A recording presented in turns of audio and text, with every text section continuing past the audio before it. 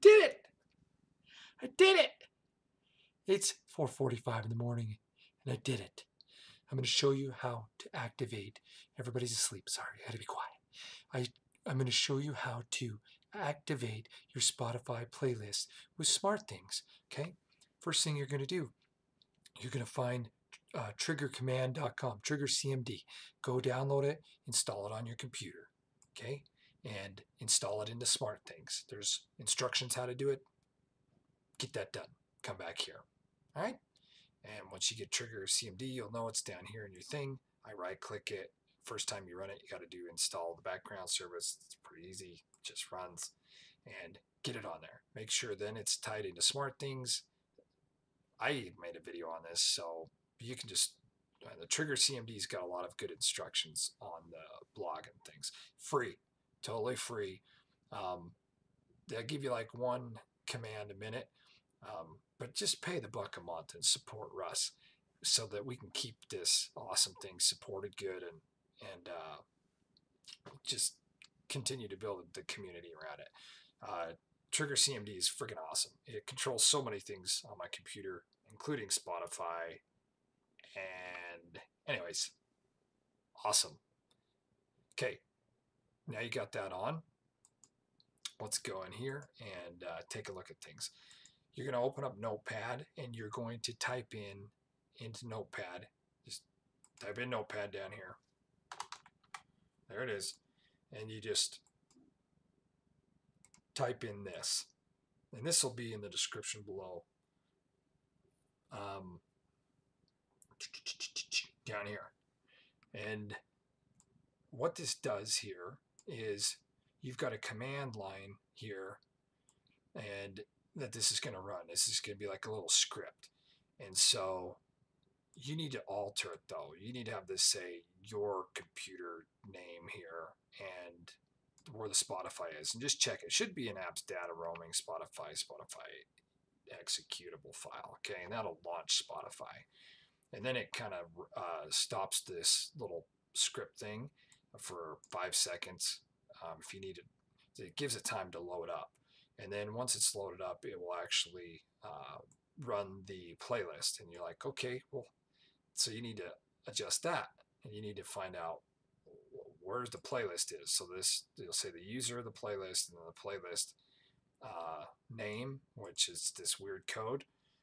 Pretty easy to find that. I thought it would be harder but let's just say we want to go and we want to find uh, night mood okay all you're going to do is right click it go down to share, copy URI, and you just would highlight, keep the quotations there, and you can just paste it right in there. And now you've got your own in there.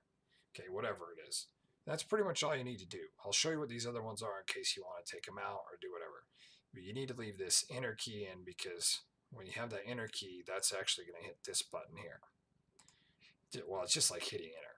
But once you select it, it's enter and then I have it wait a little bit. This turns the shuffle on, so like it clicks, toggles this on and off. So it's you know depending on what round you're in, it'll just have random songs, okay, and uh, in your playlist, and then it waits for a little bit longer, and then it does this.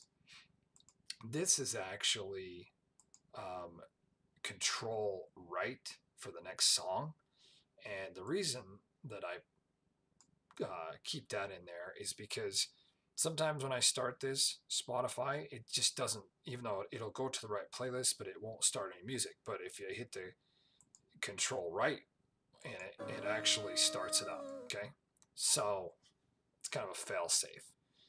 And uh, let's let's give it a test. So you've got that there, and you want to just test it. And uh, I'm not going to save the changes to it um, in case I mess something up, but I'm going to just make sure this is completely exited.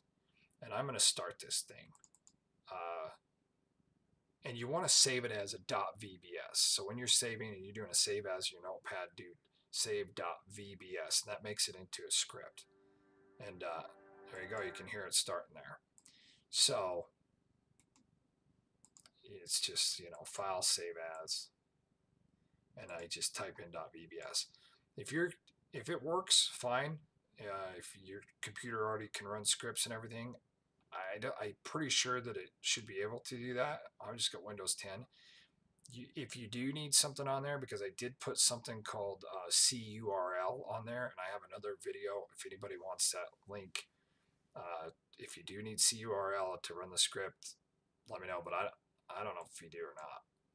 Somebody can answer that in the comments. While you're there, subscribe. Um, but honestly, I don't know. I just know that it works. And that's the only other software I've got on here. So that's how you save it. That's, that's pretty much how you make a .vbs file, and that, that it just works. Okay, I just read things and it works. So now let's tie it into SmartThings, Okay, what we're going to do is you're going to go into this.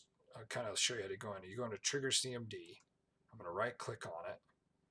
Uh, I'm going to use the GUI command editor and it loaded up. I've already got a lot of stuff on here. There's example commands, everything. It's kind of cool. But right now, we're just going to go in here and we're going to put in uh, a new one. I would go add a new command, and then type in name, whatever I want it to be called, and then I type in this exactly here. Now, one other thing is I don't have any spaces in my names here. It seems like I had some spaces here, and it wasn't working right. So I just like put Spotify night mood. Okay. And uh, I already actually did this, so I'm not going to make another one, but uh, I'll just kind of open it up. And you can see all I did uh, is I put this in. And this thing goes in to the computer and it says, okay, where is this? Well, since it's in a path folder, okay, I put all this script thing in a path folder. Uh, if you want to move like a folder where you're going to make all your stuff, like your scripts, and you want to move it into a path, P A T H. Um, you, there's I I have a video of how to do that too, but that way I don't have to like type in user Nate and da da da da da and you know the the location of it. I can just type in this, and if it's in a folder, it's kind of like putting the folder out on the freeway of your computer. Anything that's in here, all this stuff, I can just type in those things and it can find it. It doesn't have to dig through everything. But basically, I made the whole folder into path and Google how to do that if you want to do that, or ask me in the comments and I'll link you to my video. Um, so anyways, I just saved that. That's pretty much the setup I have. I have the, voice thing if you want, like so I'm going to have my Echo Dot do that and uh, save it. So I can actually test this right here. So I'm going to test it here. Oh, night mood. I'm going to do this. Hit the green arrow, and it should open up Spotify and start playing.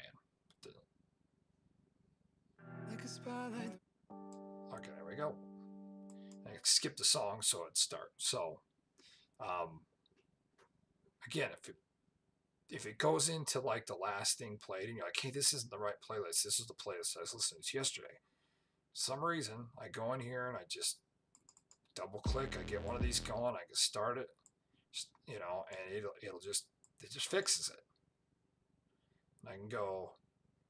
Let's try this one. This is a playlist four seven seven seven, and I'm gonna stop the music. There it goes yeah, it's it's definitely playing in this playlist, which is nice. It just kind of skipped and went to another one in here. There it is. All right, so we know it's working there.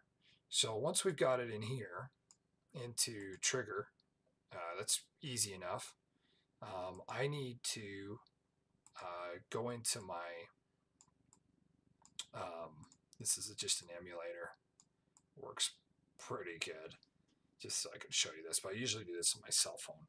Now, one thing I do is I go back in here to my smart apps, I open Trigger up again, and if I haven't had it in there yet, I've got those two in there. I would literally just click on here and I would, you know, add them. You know, I'd be like, okay, da, da, da, night mood, whatever. And then I just hit done and save. Now that will throw it into um, back in here and I should be able to go to my home. Of course, I already had it in there, but you should be able to go in here and say uh, night mood, whatever. Uh, a little trick is um, you may have a big long computer name here, depending on what you named your computer. And if you go I just named mine X um, in trigger because I wanted to be able to read these and it was pushing it way over when I had a long computer name. So I'm going to just show you that where I did that. I just go in here and I go to uh, triggercmd.com and it says actually opening it up in my other screen here. So let me bring it over here. I'm going to sign in. And right here, where it takes you in, this is how you know you're in the right screen. Uh, but that's how I got there. I just did it from here to here. And I can view my triggers, I can edit. So I hit edit here, and this is where the name of the computer is. Okay, and I just change it to X, whatever. And uh, that's how I did it. That's how I got this shorter. It was kind of hard to get these names shorter, but because I couldn't figure it out. So, anyways, that works. So let's try it here. Let's see if this uh, night mood's gonna fire up for us. And this will work for my phone, or I can set it automatically. And uh, there it is. Are you gonna play for me? Thank you. Oh yeah, there we go. Actually, I'm gonna listen to that song after I get off here because I like it. All right, there you go.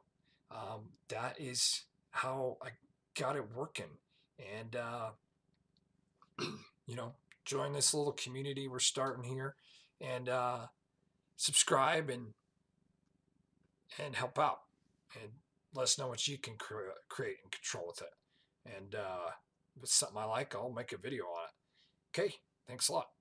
See ya.